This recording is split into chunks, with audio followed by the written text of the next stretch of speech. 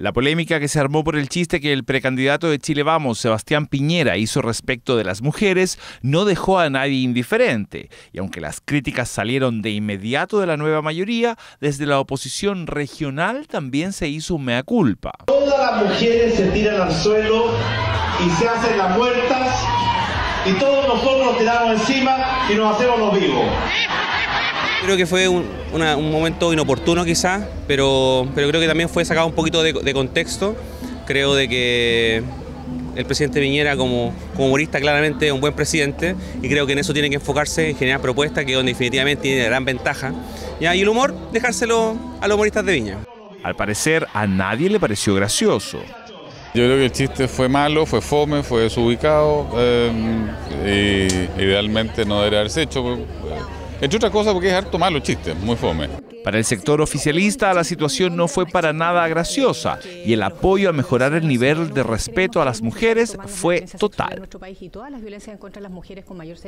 Por decir lo menos, lo menos así, totalmente fuera de contexto.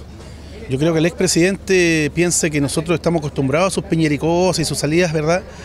Pero yo te lo digo como padre, tengo cuatro hijos, tres de ellos son mujeres. Entonces, ¿para qué te digo con lo que me han dicho mis hijas sobre sobre esta, digamos, muestra de un, de un machismo casi exacerbado, diría yo, ¿verdad? Con un chiste de tan mal gusto. No lo comparto, espero que, que enmende la ruta. Nosotros estamos hoy día en una apuesta, ¿verdad?, de inclusión y no solamente el ámbito, me refiero al feminismo, sino en todo ámbito. Y un chiste de esta de este tipo. Obviamente hace un flaco favor a esa línea que queremos seguir y comparto plenamente. Lo que nos sorprendió es que al consultar a varias mujeres sobre la situación, ninguna había escuchado nada.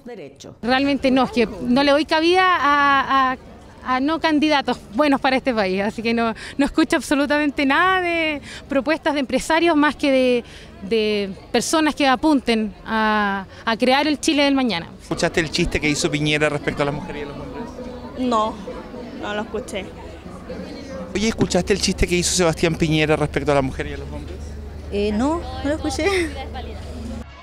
Y mientras todo el mundo opinaba sobre la desafortunada broma, no faltó el que descubrió que ese mismo chiste lo hizo Checho Irane hace aproximadamente 20 años atrás, provocando incluso una competencia entre el humorista y el empresario por saber quién lo contaba mejor.